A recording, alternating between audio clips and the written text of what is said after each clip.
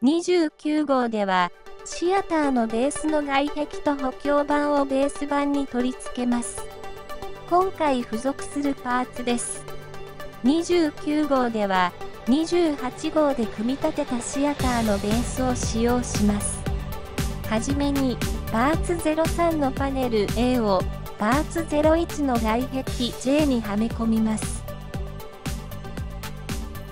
続けて、パーツ02のタイルを外壁 J にはめ込みます。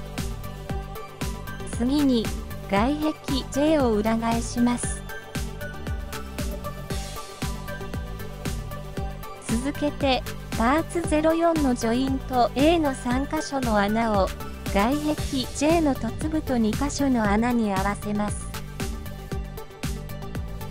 さらに、パーツ06のネジ2本で固定します。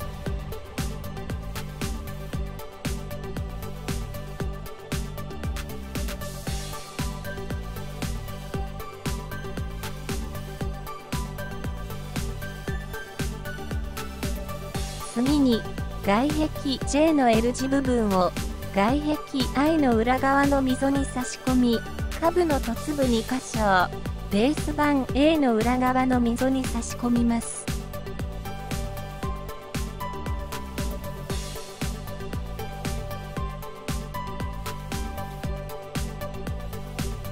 続けて、パーツ05のジョイント B をジョイント A にはめ込みます。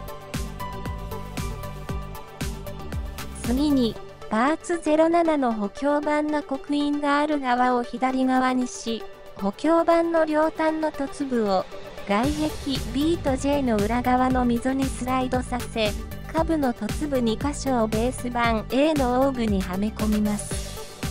続けて、パーツ08の補強板 B を補強板 A の中央の切り欠きに合わせて十字にはめ込みます。これで29号の組み立ては終了です。